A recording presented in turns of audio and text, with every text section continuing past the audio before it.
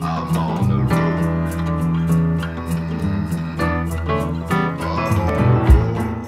I'm Doc Jenni. Join us in the Green Hornet as we travel the back roads of beautiful North Idaho. Every day is different, challenging, and never boring as we see all the farm animals, big and small.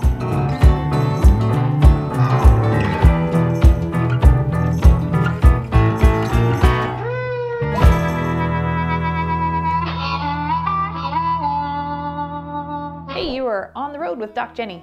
And we don't just see horses, we see all the big animals. And so today we're being called out to go and look at a sick sheep. And uh, this sheep is part of a larger herd, and it is the only one in the herd that's having any troubles, but it's just not doing well. And so they've called us out to see if we can get to the bottom of it. gladly jump in there if you want, but I know it's not a whole lot of space. So. I think we can get it handled in here. Sister. And how old is she supposed to be? I believe she's uh, three. Had a birth before. She had two healthy twins last year. Does she eat pretty well? I feel like she's it, she'll eat, but I feel like she's sort of really picky. Like she doesn't like the alfalfa pellets, and we're like, "Come on, you look like you're starving, girl. Let's let's Yeah. eat some stuff." Um, she ate a whole bunch of the um, sheep mineral, the loose mineral that we Uh-huh. have last night. But like with the corn, with the, the pea pellets, we were just trying to give her that because she seemed to prefer it. Well, since this is an individual animal issue, the rest of your animals are nice and healthy. We we obviously have some kind of a individual disease process going on. Yeah. So I think it would be, especially since we don't want to um, lose the rest of the herd, we need to figure out exactly what's going on with her. So I would recommend pulling some blood and doing some testing on her. Okay. Ovine progressive pneumonia would probably be at the top of my list for Okay. kind of a chronic wasting type disease. So Yeah. we can try that. Maybe CAE. I don't know. I'm gonna actually look through the book and see what else fits the, these symptoms. Because Yeah. every, I mean, she looks. It's definitely not a malnutrition. It's that more that her system, everything's Okay. just kind of wasting away. Okay. I think getting some blood on her is definitely the way to go. I do see some, a little bit of ploppy diarrhea type. But Yeah, she's have. I mean, and it seems within the last week or so, it's been going that way. She mm-hmm. was having more normal, harder pellets, and Okay. now it's more. It's not like liquid, but it's coming out in more of the yeah, clumps. or the clumps. Yeah. All right, sister.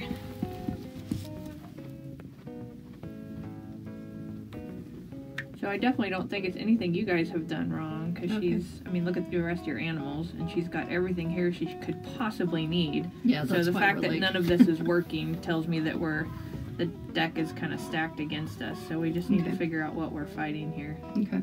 So it definitely doesn't look like selenium deficiency. There's no wool break. Her feet look like they're in good shape.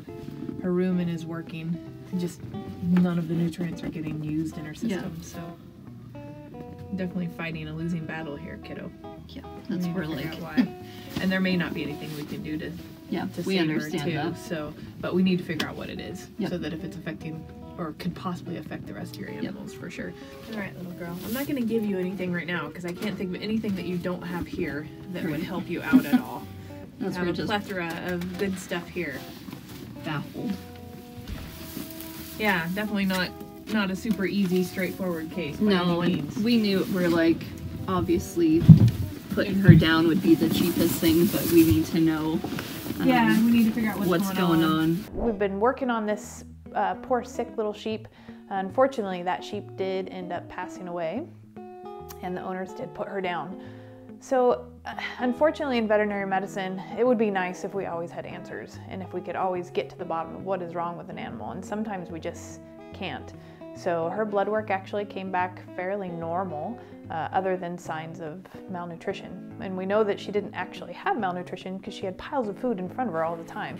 But for whatever reason, her body wasn't able to absorb that nutrition.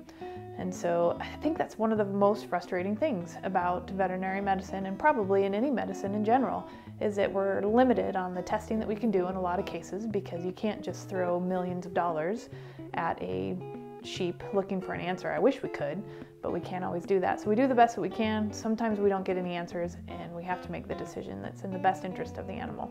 And in this case, it didn't have a very happy ending. But the good news is that the rest of the herd is doing well, and we don't have to worry about there being any diseases that are going to affect the rest of the herd. Thanks for hanging with us today and being on the road with Doc Jenni, and we'll catch you next time. Hey everybody! Thanks for riding with us in the Green Hornet today. This is Doc Jenni signing out. If you like what you saw, be sure and follow us in the Green Hornet with Tormund out on the road with Doc Jenni. Just click the link below and follow us along on our journeys. See you later.